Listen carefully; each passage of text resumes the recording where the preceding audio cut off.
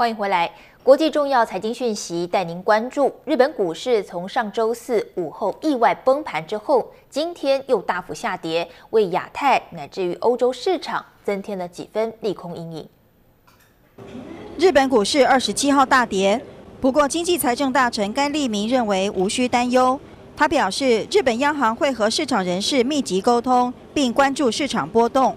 日本内阁官房长官菅义伟也认为，日本股市今天是反映中国数据下滑，而之前股市涨幅是空前的。东证指数近六个月共上扬了百分之五十二。えまあ一週間ぐらいで1000円を超えるような値上がりもありました。